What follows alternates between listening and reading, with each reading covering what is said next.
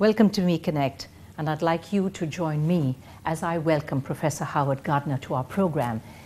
Professor Gardner is Professor of Cognition and Education at the Harvard Graduate School of Education. He's gained worldwide acclaim for his theory on multiple intelligences.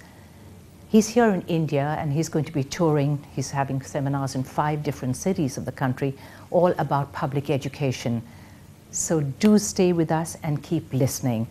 Thank you very much, Professor Gardner, for, for coming in. And I know you've just arrived in India. So let me start by saying this is your first visit here. That's right. Right? Okay. Now, this multiple intelligences seems like a rather big word to the uninitiated. Love you to just explain it to me, please. Well, in almost every culture, there's a word that roughly is intelligence. Mm. And the implication is that uh, some people are smart, some people are average, some people are dumb. And as a first approximation, you can get away with that way of speaking. But actually, anybody who has spent time with other people, as a parent, as a teacher, as a worker, knows that people have quite varied sets of strengths and disabilities. Mm. So, you know, because somebody is good in learning languages doesn't mean they're good in finding their way around an unfamiliar terrain right. or that they have good understanding of how to mediate a, a conflict or that they're a good baseball player right. or cricket player. And by the same token, if somebody is poor at learning foreign languages, you don't assume that therefore they won't be able to um, dance or that they won't be able to uh, solve a mathematical problem. So that intuition is, is uh, not, not strange. But over 30 years ago, I conducted a very wide-ranging and systematic analysis of all the information we had about human knowledge, human mm. cognition. And I had a whole set of criteria in my mind, and I proposed then that human beings, instead of having a single computer in here, have a half a dozen or a dozen separate computers, which I call the multiple intelligences. And the, the thrust of the theory is that strength in one intelligence or one computational capacity doesn't tell you about strength or weakness in any other right. computational yes. capacity. Mm-hmm. So I developed those ideas as a psychologist, and I thought that mostly psychologists would be interested in them because it's theory of the mind. Right. Um, but in fact, uh, first in the United States and then many other countries, it was really educators that found that the theory comported with their own experiences. Right. Um, mm-hmm. There are some students who are good at everything. There are some students who are poor at everything. But the more closely you look, all of us have kind of jagged profiles. And so the question is, should we say, well, that's the way it is and forget it? Should we say, well, that's the way it is and let's try to make everybody the same? Or do we say, well, that's the way it is and let's make the most of it? Right. And the education that I'm interested in is an education which recognizes the different intelligences and tries to use them to help people learn as well as they can. Right. Uh, but of course, um, now this particular theory, you did say that it is being used and people are looking at it around the world.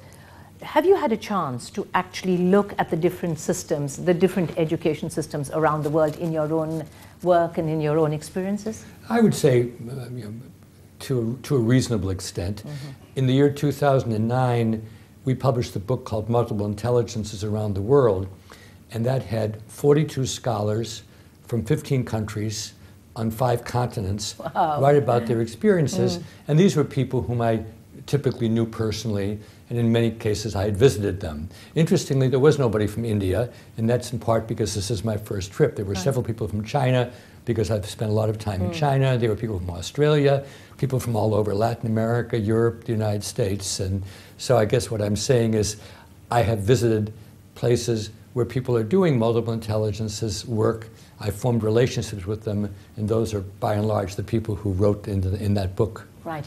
So now on this visit to India, hopefully, you know, we will have people who will now begin to work with you on the way you're, you're talking about. But on this trip itself, you're going to be going around the country uh, talking about your theory and uh, maybe taking a look at the way the system is going here. Are you looking forward to that? Absolutely. Yes. I mean, one of the reasons for having the privilege of travel mm.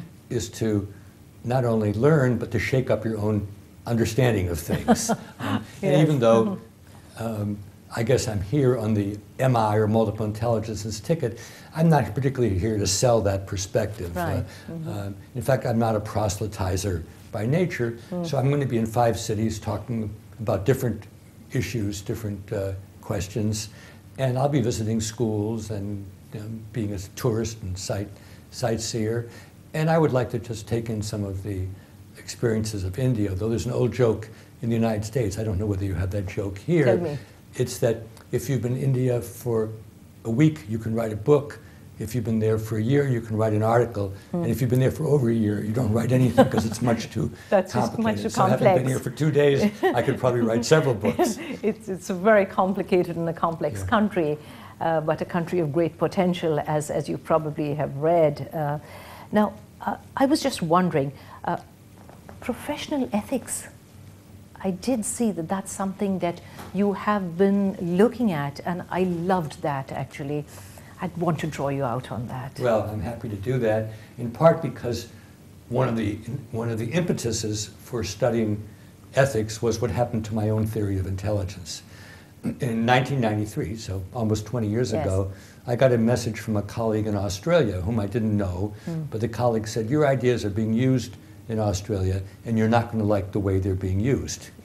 Um, this was in the days when we had email, mm. but if there were attachments, I certainly didn't know how to download them. so I said, mm. Well, tell me. Mm. And this is like a flashbulb memory. The colleague sent me a pile of papers like this. And as I read through them, standing in my office at Harvard, the more I read, the less I liked. And when I saw a list of all the racial and ethnic groups in Australia with which intelligences they had and which ones they lacked, I sort of threw up my hands and I said, This is nonsense. This is pseudoscience. It has no basis in reality.